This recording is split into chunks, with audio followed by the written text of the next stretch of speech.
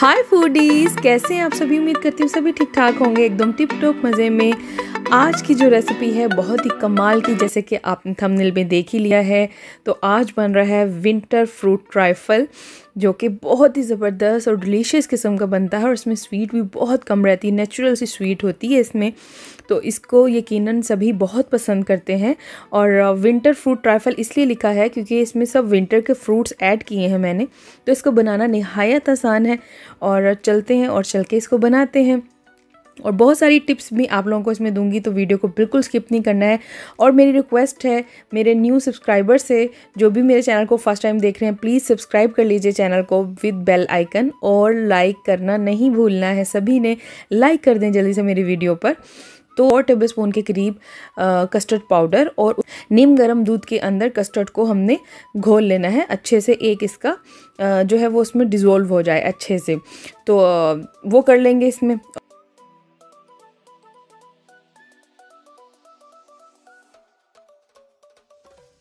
और उसके साथ साथ यहाँ पे मैंने ले लिया है हाफ़ के जी के करीब दूध, जो कि खुला दूध है। पैकेट वाला दूध यूज़ नहीं कर रही हूँ और यहाँ पे हाफ़ कप के करीब चीनी ऐड कर दी है।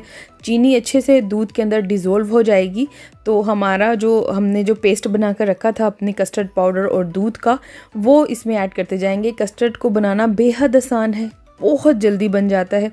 कोई मुश्किल वाली बात नहीं है। और इस बात का ध्यान रखना है कि जब आपने कस्टर्ड का ये जो पेस्ट है, इसको जब आपने ऐड करना है ना, इसके अंदर तो मुसलसल आपको स्पून को हिलाते जाना है ताकि गिटलियाँ ना बन पाएँ।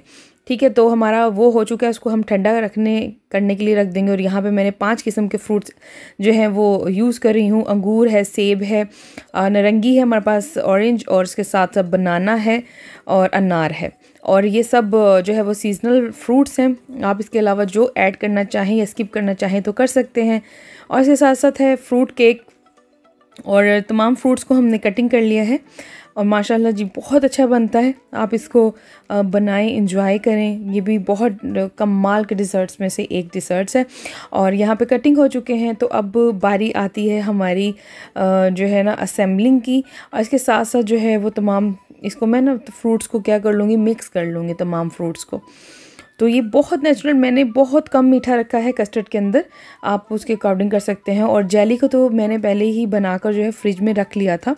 और उसमें आप क्या करेंगे, जैसे आपने अपनी फ्रूट इस पर डेकोरेशन वगैरह करनी है ना तो आप पहले से इसके पीसीज निकाल लें और फिर उसके बाद उन, इन तमाम जेलीस को ना स्क्वायर में काट लें। कटिंग कर लें उसकी। तो यहाँ पे पहले हम जो है वो जेली की अपने जो हमने डेकोरेशन करनी है, उसकी हम निकाल लेते हैं। फिर उसके बाद मैं जो है ना नाइफ़ की मदद से इनको कर लूँगी। छोटे छोटे पीसीज में डिवाइड कर लूँगी। और चैली के अंदर अब बहुत सारे कलर्स हैं, आप जो लाइक करते हैं, वही कलर इसमें यूज़ कर सकते हैं। और बिल्कुल भी जल्दी से यानी कि बहुत काम नहीं है इसमें। बहुत जल्दी बनने वाला है ये। वैसे आपको लग रहा होगा कि फ्रूट्स भी काटने जेली भी बनानी, ये भी करना है, लेकिन नहीं। ये बहुत इजी है बनाना और बहुत जल्दी बन जाता है। आप ज़रूर ट्राई कीजिएगा। अपने जो सीजनल फ्रूट्स हैं, उन तमाम से आप बनाएँ।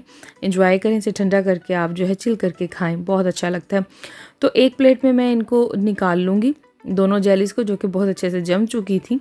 और जेली को बहुत आसान है, पानी उब, थोड़े से पानी उबलते में आप इसको पैकेट को डाल दें और फिर किसी बर्तन में इसको फ्रिज में ठंडा कर लें तो ये जम जाती तो इसका भी बनाना बहुत आसान है, कोई मुश्किल बात नहीं। तो अब हमारा जो फ्रूट केक है हम उसको जो है बेस में रखेंगे।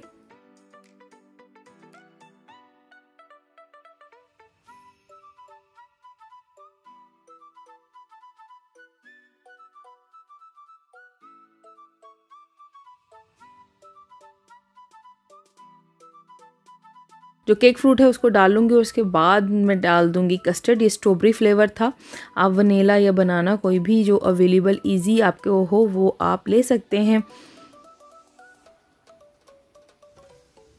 तो केक पे बहुत अच्छे से अपनी जो स्ट्रॉबेरी कस्टर्ड है, उसको मैं जो है, मैंने कस्टर्ड को ठंडा किया था काफ़ी देर तक और इसके बाद जो है वो जेली ऐड कर देंगे और इसी तरह तमाम के तमाम फ्रूट्स ऐड कर देंगे।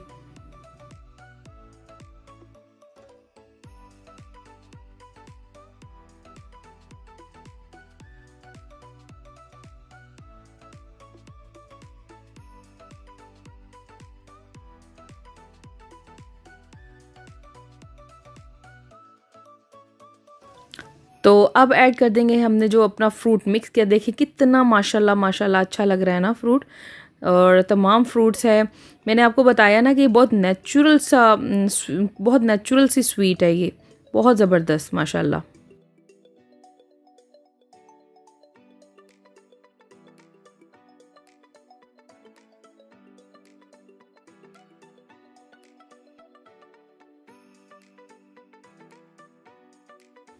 तो इसी तरह करेंगे, हम अपनी लेयर्स बनाते जाएँगे लेयर बाय लेयर तमाम चीज़ों की, और उसके बाद जो हमने कटिंग की थी जेली उसकी जो लेयर है, वो वो भी लगा देंगे तमाम, और एंड में हम इसको डेकोरेट कर देंगे।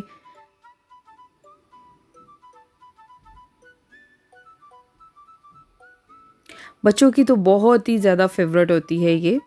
बच्चे बहुत शौक़ से खाते हैं इसको और इतनी मज़े की बात है कि देखिए हर चीज़ इसमें आ जाती है। फ्रूट्स दूध यूज़ हो रहा है, केक यूज़ हो रहा है, जेली यूज़ हो रही है। जेली तो बच्चों की मोस्ट फेवरेट होती है। बच्चे बहुत बहुत बहुत पसंद करते हैं जेली को खाना। अगर आपके पास फ्रूट्स अवेलेबल ना हो तो आप केक और जेली के साथ भी इसको बना सकते हैं। सिंपल में भी बना सकते हैं और बहुत ही आसान है इसे बनाना। देखिए कितनी जल्दी से बन गई है।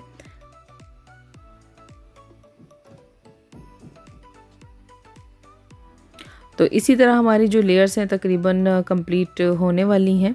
फ्रूट्स जो वो था, बच गया, वो भी इस पर ऐड कर देंगे उसके बाद हम अपने कस्टर्ड को ऐड कर देंगे। देखिए कितना माशाल्लाह कलरफुल सा ये फ्रूट ट्राइफल हमारा रेडी हो चुका है माशाल्लाह।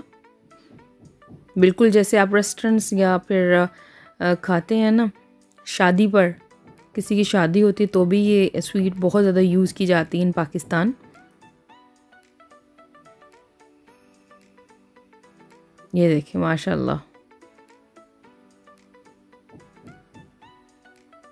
कस्टर्ड को बहुत ज़्यादा गाढ़ा नहीं करना है, क्योंकि हमेशा कस्टर्ड ठंडा होने के बाद जो है, वो खुद ही जो है ना, वो थिक हो जाता है। तो आपको बहुत ज़्यादा थिक नहीं करना है तो फिर आप वरना डाल नहीं पाएँगे। और इतनी ही उसकी जो होनी चाहिए। आपके कस्टर्ड इतना ही आ, होना चाहिए पतला ताकि अब जब आप इसको फ्रीज़र में रख के ठंडा करेंगे तमाम चीज़ों के साथ वो खुद ब खुद लेवल पर आ जाता है। तो ये इस बात का ध्यान रखना है आपने आपको कि आपको बहुत ज़्यादा गाढ़ा भी नहीं करना है इसको। ये देखिए माशाल्लाह माशाल्लाह सुबहान अल्लाह तो इसको मैं थोड़ा सा सेट कर लूँगी बाउल में। और जो कटिंग करके रखी हुई थी हमने जेली उसको हम इस पर लगा देंगे एज ए डेकोरेटेड डेकोरेट कर देंगे यहाँ पे। अपनी जाली के साथ इसको, माशाल्लाह, देखें। क्या बात है।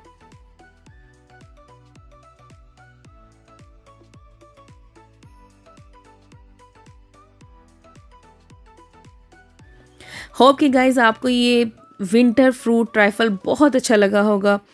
थैंक यू सो मच अल्लाह हाफिज़।